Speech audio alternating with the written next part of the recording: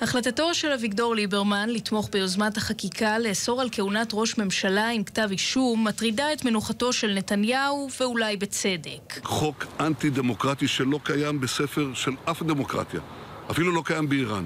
במוצאי השבת מתכנן נתניהו לקיים מעין כנסי חירום לעצירת גנבת הבחירות כהגדרתו, אבל במתכונת דיגיטלית בגלל החשש מקורונה.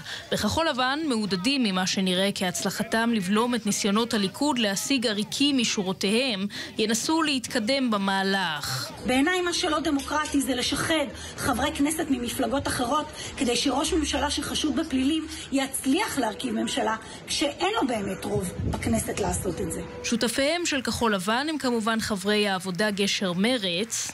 אני אכנס את הסיעה בשבוע הבא.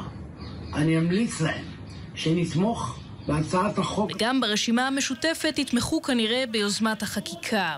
דיברו איתי על היוזמה הזאת, ואנחנו מזמן ברשימה המשותפת אמרנו, עוד לפני הבחירות, שננסה לבלום את בנימין נתניהו. אם חברי הרשימה המשותפת ימליצו בפני הנשיא להעניק לגנץ את המנדט, יהיו לו כפי הנראה מרבית הממליצים, וכך יוכל להמשיך להחזיק בוועדה המסדרת כדי להעלות את החוק להצבעה.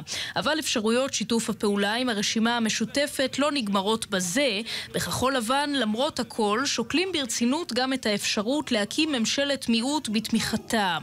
אני קורא לאחרוני חברי הכנסת שיש בין ליבם עוד אה, אה, אחריות לאומית אה, וראייה רחבה של האינטרס הלאומי, לבלום את המהלך המסוכן הזה. אתם מפקידים את גורל המדינה ומפתחות הממשלה בידי תומכי הטרור שברשימה המשותפת. גנץ צייץ היום בטוויטר, ההסתה לאלימות עוברת כל גבול. אם לא נתעורר, הרצח הפוליטי הבא מעבר לפינה.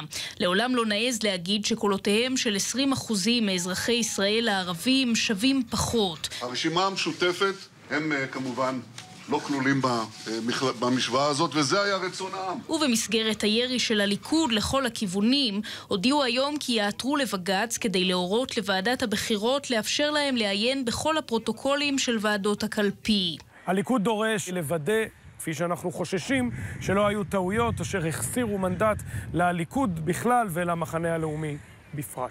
מוועדת הבחירות נמסר כי כבר בצהריים קיבלו לידיהם נציגי הליכוד את הפרוטוקולים מ-90% מהקלפיות, וכי במוצאי השבת יסיימו לסרוק את היתר. בליכוד, עם זאת, מוסיפים לטעון לאי סדרים בספירת הקולות, בתקווה להשיג עוד מנדט לגוש הימין. זה יהיה כבר הוויכוח של השבוע הבא.